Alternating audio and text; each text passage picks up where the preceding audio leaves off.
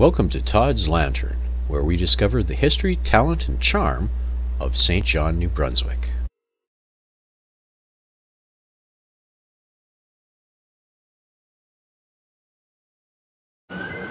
Here again, if you look back, you'll see a side of the market you probably never saw before in your lifetime. You see all the arches, uh, they're always blocked by the Woolworths building. brighter in there now. It's probably brighter there. yeah. Yeah. Yeah. Anyway, I'm standing on the base of what was the WCTU, Women's Christian Temperance Union Tower fountain. And it had a fountain, three levels, one for people, one for horses, one for dogs. It was built in 1883 in memory of the Loyalist women. But from day one, it was considered the ugliest statue in Canada. the newspaper poked fun of it from the day it was uh, unveiled, and there happened to be a comedian in town that day playing at the Columbian Mechanics Institute, and uh, that comedian also poked fun of it. The St. John Globe referred to the monument as hideous and asked if it was a gatepost or a dissipated tombstone. Comedian named Walter Pelham came to the city in mid-July and publicly made fun of the monument. The Globe commented that the ladies' effort were kindly and well-intentioned, and Pelham's jest reflected popular sentiment. In 1962, the mayor of the city, Eric Teed at the time, decided that it had stood long enough as the most ugly statue in Canada, and he decreed that traffic movement by was rattling the base of the fountain and it had to be moved. And it was moved to the asphalt plant in Millidgeville and Barrie, where it re- re- it lays to this day. Official word was that by placing it under the earth, it will remain solid and we can re-erect it someday. But it didn't. It disintegrated. It was sandstone. And sandstone doesn't stand up. Where's the asphalt plant? Oh, the asphalt, uh, did I say that wrong? It's the asphalt plant. Off Fullerton Road? Yeah. Yeah, it's, it's, is it an asphalt plant or is it just the city works? City Works Department that City Works salt Department? domes. Okay. Now, my own personal story here is that my dad was a city transit bus driver, and he parked his bus right over here, and this was bathroom break time. Going into the market to use the washroom facilities, and get back on your bus, and you, you'll still were on time. And one day, Dad had uh, Mom's diamond ring with him because the stone had become loose. And instead of going to the washroom, Dad hightailed it from his bus over here across the road to what was known as King Square Jewelers. And their motto was Hubba Hubba Ding Ding. Meet me at the head of King. and so Dad rushed over and we took the ring, showed them what he wanted done. There was no diamond. The diamond had somehow fallen somewhere between that bus and that King Square jewelry. Well, Dad told me the story later. That he got down on his hands and knees and he crawled from King Square Jewelers back to the bus. And then he crawled back again and he found the diamond. And my sister has it to this day. Oh, nice. So, hubba hubba ding ding, meet me the head of king. People are puzzled by that head of king and foot of king. Well, those are English terms that came with the, golden settlers. Head king, head foot king. Okay, we have a couple more stops.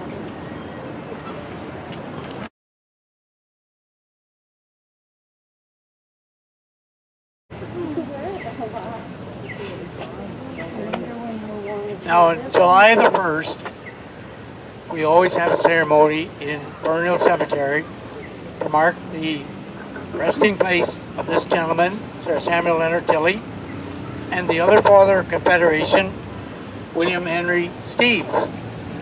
This is the only cemetery in Canada that has two fathers of Confederation buried. And at 11 o'clock On July 1st, you can join a walk that Harold and I are leading through Fern Hill. And we will be stopping at those two spots, but we will be also stopping in a good many other spots that we've identified over the years and tell the story of those buried there.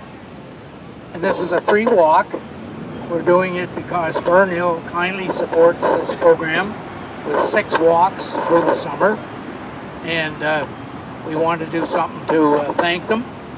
So you're welcome to come. Up to 50 people can come. That's the rules now. And uh, you don't have to register for that one. You just have to show up. Normally, 10 or 12 people show up, so I'm not too worried about the 50. But uh, maybe this year, with less going on, more people will show up. And this, this Sir Samuel Leonard Tilley statue was raised a few years after his death. I think in 1894 it was raised around 19, I forget the exact date, but 1910 maybe, quite a bit, quite a ways after. And uh, I was being interviewed here one time by an American television crew. They were interested in uh, some historic, historic tidbits about St. John. And King Square was one of the things. Those motorcycles. King Square was one of the things that caught their attention. So they asked me to come and walk around King Square with them and share the story of some of the monuments. We came to Tilley and they asked me a question. Why is Tilley green? And I knew the right answer. Bronze, and that's the color bronze goes.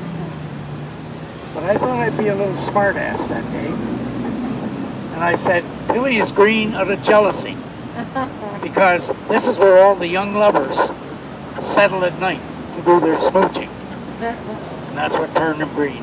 I don't know if that ever appeared on American television or not. anyway, we have two more stories right over here. Uh, we'll just walk. Uh, as you're standing here, you can vaguely, very vaguely, just see the top Trinity Church and the big salmon. It's at the top of the church. And uh, below it, you see, well, you can't, kind of block. But you can see the clock, which has been, there's been a clock in Trinity since 1810. And the salmon has only been down in, uh, well, the church burned in 1877 and then it wasn't down again until 1926, and then it wasn't down again until 1964. Probably will never be taken down again because they'll probably put a boom up and work on it up there.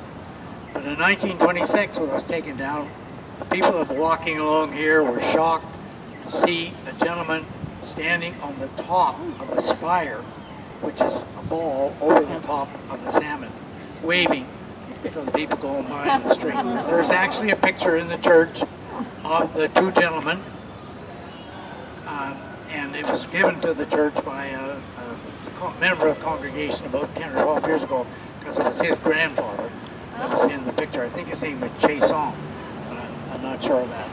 Anyway, um, the spire is uh, 210 feet, and another one of those bits of legend that I was told as a, an Anglican was that the spire at the cathedral, as you showed you earlier, was built 20 feet higher, just to show the Anglicans that they weren't the top, top people in the city.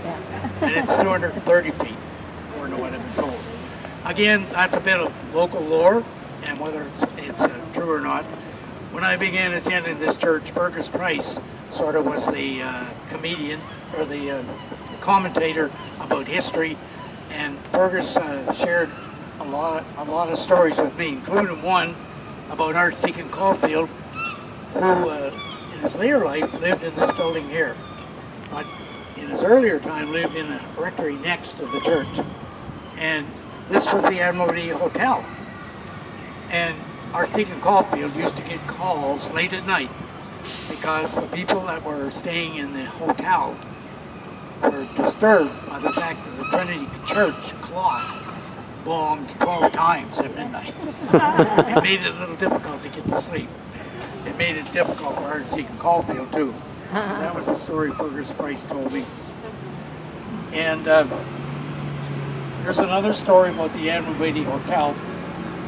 Um, I once met a man named George Burdett who was living in the hotel here. And uh, he told me a story which was quite amazing. In 1961, George said, like most men in the era, I had a couple of tubes of Brylcreem in the bathroom cabinet. My wife, noticed them, reminded me that a company was having a contest. They was looking for a jingle to promote their hair product. I got busy and wrote a little rhyme and sent it in. It read, Brylcreem, a little dabble do you? Brylcreem, simply, simply use a little on your hair. The girls will all pursue you, you may have to them by the pair. well, George said, two days later, a cream company phoned me and said I'd want a bright red MG sports car. The day after that, I met a guy who wanted to buy such a car, but only if it was red. So I told him mine was red all right. He bought it. He lived in St. Stephen, money I got was a down payment of my first house, which was on Squire Street in Fredericton. It was a $12,000 house, and by selling the car, I hit 2,500 down, down dollars down, and that looked pretty good. So that, if next time you hear that Brylcreem commercial, not sung as badly as I sang it, but there it is. There you'll know it. It was George Burdett that uh, did, uh, that uh, Must originated Carol's that. grandfather. Huh? Must have been Carol's grandfather. You think so? Yeah.